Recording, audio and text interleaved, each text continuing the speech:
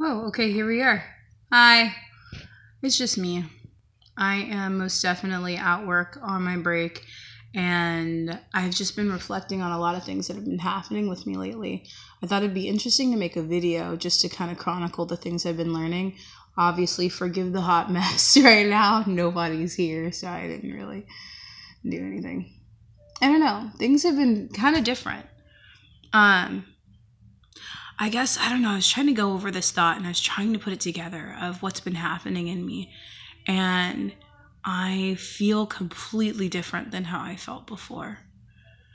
This isn't like a, oh, I wasn't saved and now I'm saved moment, but it's it's one of those things where like you never really rely on God as much as like when you can see how small you are and how much you need him and when you've been face to face with self-reliance and like hit yourself against the ground like like face first against the ground like that's literally what kind of happened where i for a really long time have been in this just state of like a fog it was kind of weird um, the only way I could explain it is like, you know, I'd still be reading, I'd still be praying, I'd still be like, you know, going to church and and and like being around brothers and sisters.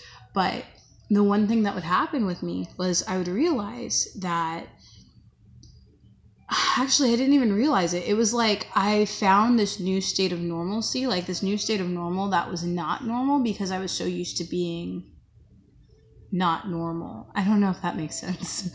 I was feeling like I was normal, but I wasn't normal because I had been in this abnormal state for like a year and I knew when this thing kind of set in, it was kind of like this depression.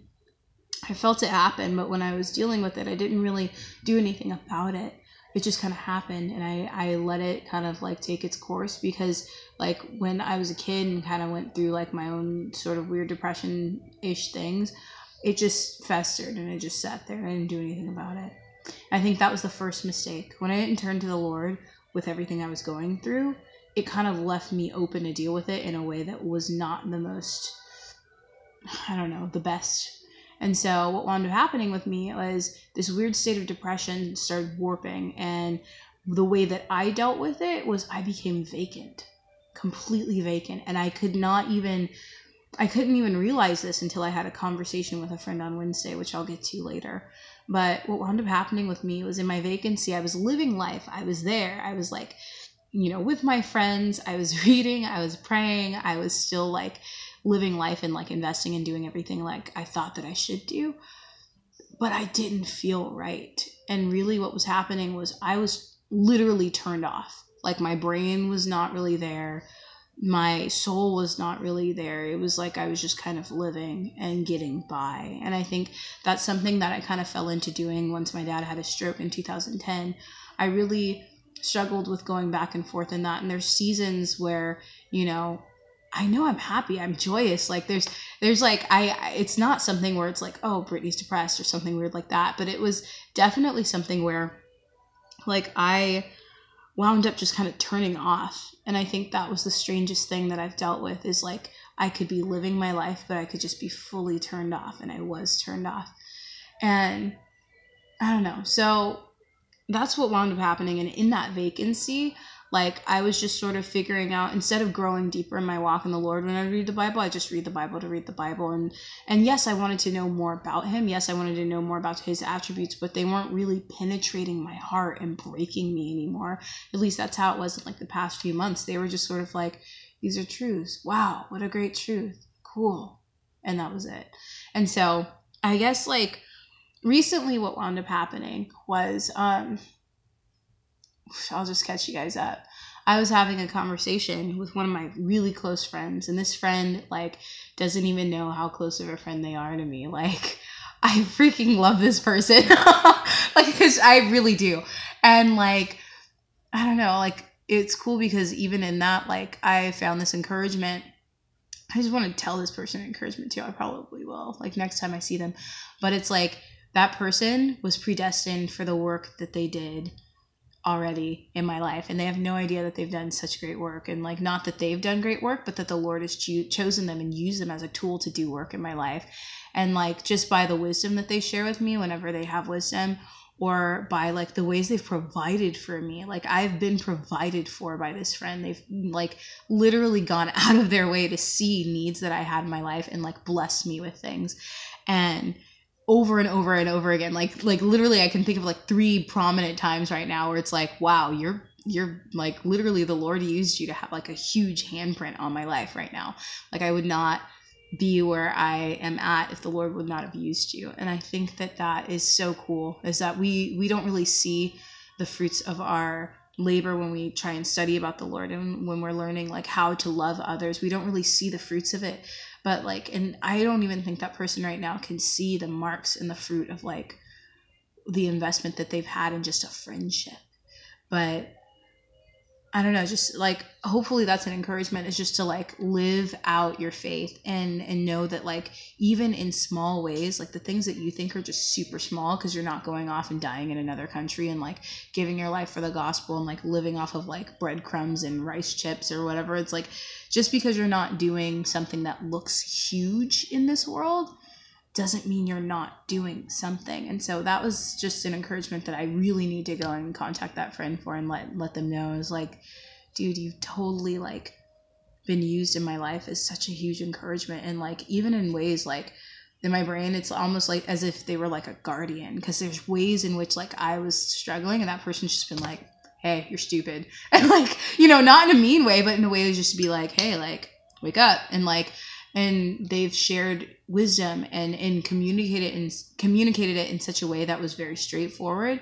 It was not sparing my feelings as to flatter me, but it was like cut straight to the heart in a way of like I'm gonna cut you as my friend, and it it you know I think I like in that way it's like it's so beneficial because it wasn't for anything else but to like grow me as a person, and so it was like selfless. It's so cool. I don't know. I'm hang I'm hanging up on that for a lot, but or getting hung up on that a lot.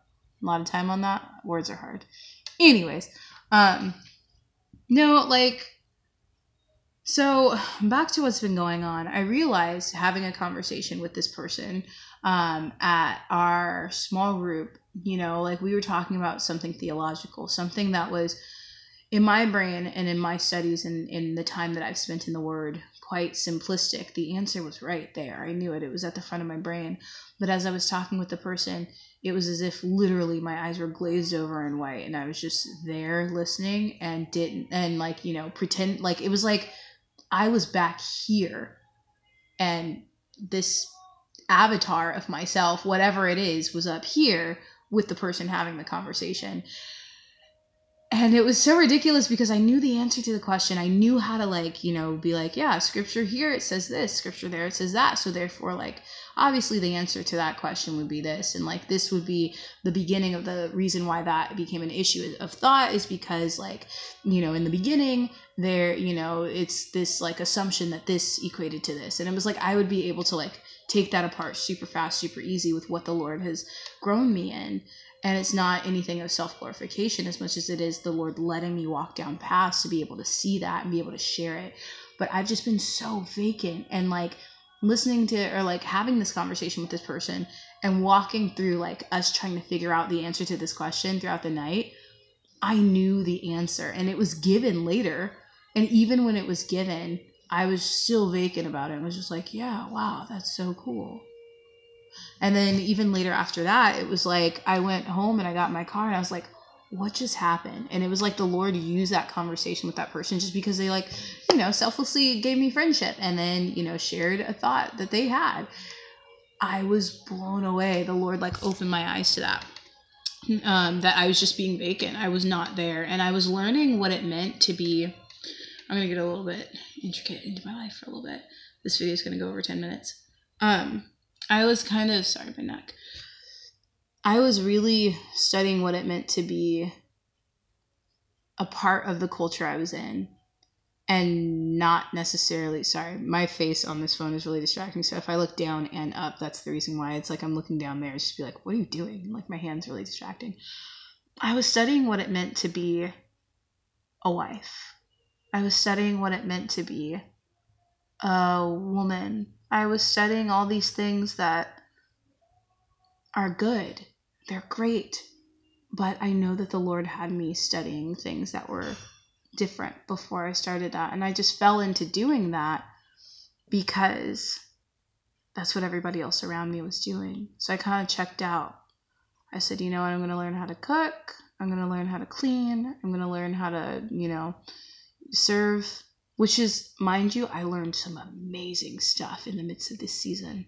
I learned like what it meant to be selfless and humble and meek, I think is the biggest thing and like what it truly meant to be meek. Um, and not just like this this uh, emotion of meekness of like you know or this not emotion um way of living where it's like i'm going to be quiet and like you know just have the persona of meekness but what it truly meant to be meek and like having knowledge and having like the answers and having things like that but you know in humility like it's like kind of putting back what you have to like let others go forward and like you know just for i don't know I won't get all into that because that's another video. But um, I don't know. I realized that in this season I was living and I was just kind of like living and I was learning things that didn't pertain to my life and godliness. It just pertained pertained to like me being a woman and like growing more in that and like making myself more attractive and marketable to get married. Be And ah, that's a whole nother video. I won't even get into that. But just realizing that that's what I was doing and I wasn't growing myself in growing closer to Christ, but just kind of growing in the culture I was in, like what I thought, felt like I should be doing at the time because I'm like, in two weeks I'll be 29 and like I just felt like, oh, this is what you should be doing right now because you're getting old. And everybody's telling me, oh, you're getting old. 30's like, oh, you're gonna wind up in the grave. And it's like, you know, I don't know. It's it was interesting to walk down that road, but I realized I was being vacant, woke up from that, and then also realized not only that, but from a women's breakfast, I was so obsessed with self. And that obsession with self happened because I was vacant and because I was not on guard. I was not on the offensive. I was not seeking the Lord and abiding in Him each and every day and each and every moment. Like, because of that, like, that's why I became obsessed with myself. And that's why, like, all these sins crept in. Like it was okay, so this is what happened. Like not only was I like vacant and I wasn't there and I wasn't like actually fighting and I wasn't actually like pouring myself into what I should be pouring myself into, but like I was open for my mind to be a playground, literally. Like whatever thought snuck in, it took me. And I wouldn't necessarily like react with it, but I would become an extremely inconsistent person in my personality because I was thinking these thoughts on the inside that made me like react to certain people at certain times for no reason. Like I was rude at times. I was like bitter. I was like judgmental like nobody's business. And it's like it's weird because you like get little hints of that in other people and things that like you should rebuke or you should be like hey we shouldn't be saying that. But like those little tiny bits of pieces of things that i would get in other people would just validate my judgment. And like it would spread into like a totally different animal up here that nobody could see. And i would omit sins. I would not go to war against things that would come into my head and I don't know, it was just really weird being in this state where literally whatever Satan just wanted to drop in there, like it stayed. And I was not warring with sin. I was not brushing these things away, but they were like, you know, two scalas ago, we had this example that was given by like a really godly man of like, you know, what it meant to just let sin linger and let sin stay. And I think that's what happened in my brain is like there's like this nest that was being built in my brain and birds were coming and landing and I was not brushing it off. But they had built like a whole entire freaking tree that was like growing out of my skull. And like they were living there and it was ridiculous. And so I don't know. I like I'm just realizing that like wow, I have not been here. I have not been it feels like I haven't been alive. I've been vacant for a really long time and just existing. But not only that, I think I've really learned what it means to like rely on the Lord because the moment that I realized that, it was like repentance immediately. But not only that, it's like you're left in such a weak state that you're just like praying literally in every instance, Lord, help me out. And like the Lord used another girl that I would like, you know, was in a group with at women's breakfast. and she like gave some really really good wisdom that stuck with me and it was stuff that her mom has told her and what she wound up saying was like you know hey like when you get a bad thought just pray right away. And that i think is literally practicing the presence of the lord and stuff that i knew but stuff that like i wasn't actively doing. I would maybe try once or like say i was doing and thinking i was doing but i wasn't actually doing it. And ever since then like ever since that saturday i've been like praying like at every instance every turn because i know how weak i am. I know how quick and hard i can fall and it sucks and like i don't know just been thinking through that just been really going through it and like I I'm just in this state where I feel alive. I'm in this state where I feel new and I feel like the me that I haven't been in a really long time. And it's a scary place to be, but it's the best place to be.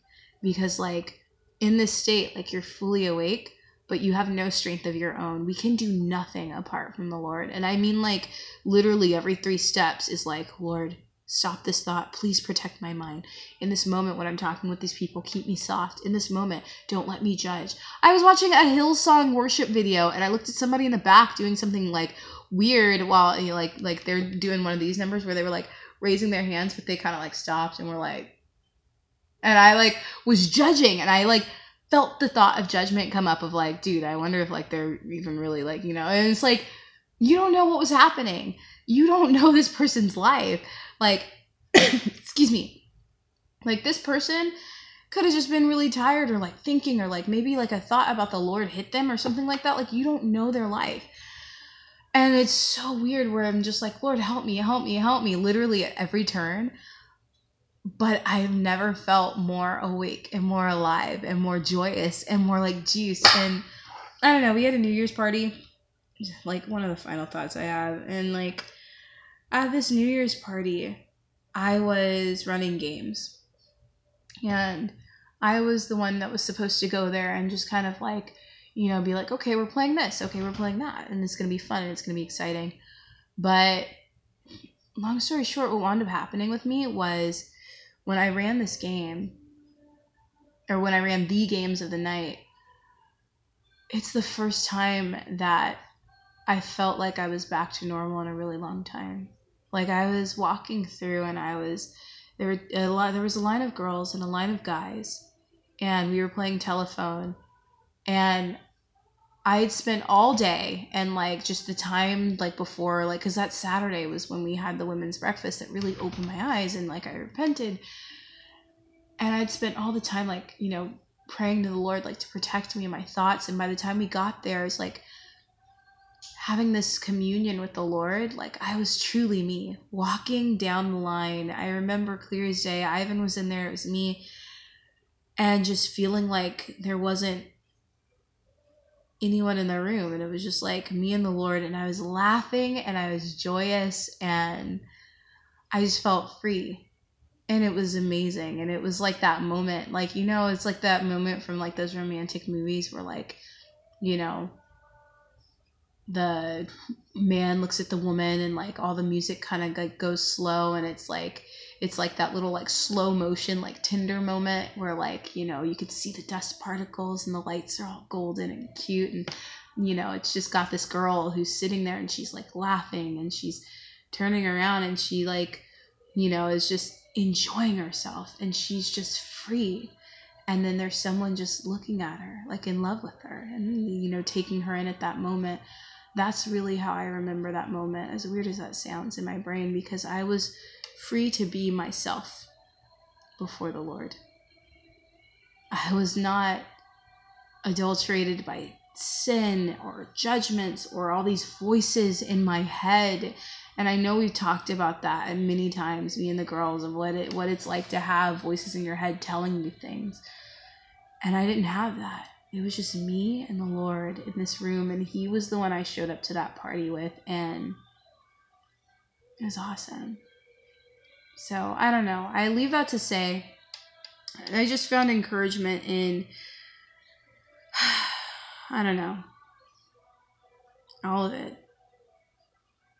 Just if you're feeling weird, if you feel like you're in a state where it's like, I'm here and things are fine, I'm reading and praying, but something's not right, and you've been in that state for a really long time, ask the Lord to reveal it to you. He is faithful to you know follow through on his promises. He will he will help you through that. He will send you messengers like friends who don't even know that they're like such a big tool being used by the lord to open your eyes to things you've never seen or things that like you just forgot.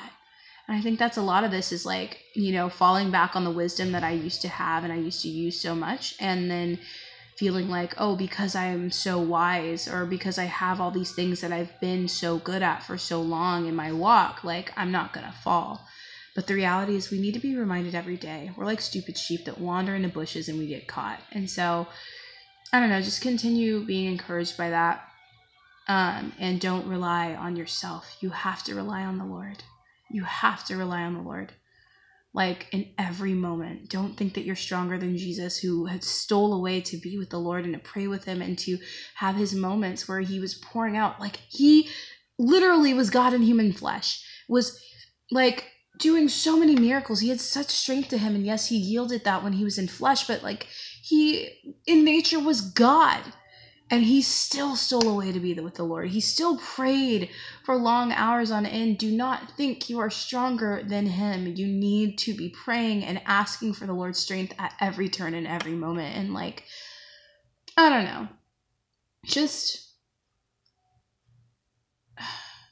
I don't know. Just focus yourself on the Lord. Focus yourself on him. Like, don't think that you're strong in Him and don't be discouraged, even, I guess, in the sake of my friend, if you feel like you're pouring out or you don't have a place of ministry or whatever. Just live your life out and you never know how you can encourage someone. Um, don't fall into being being vacant. Let your mind be on guard because the moment that your mind is not on guard and you are not abiding like that and you're not asking the Lord at every turn to help you and to guide you, dude, like we can't see certain sins. That was completely invisible to me. We, there's no way I could have known that I was in that just you have to stay on guard because if you're not on guard and if you're not abiding and if you're not on the offense, you're going to get dragged away. That's just the way that this world works and that's the way that this war works. The battle, the war has already been won, but we're still in the midst of battles and we need to remember that and we need to rely on the Lord constantly or else we're just going to get dragged away. So, I don't know. This is just like where I've been. And I hope that can be an encouragement for you guys and I don't know. Anyways, I'll leave this video at like 23 minutes. So if you have anything to say, leave a comment, like, whatever, do all that YouTubey stuff. But I'll talk to you guys later. All right. Bye.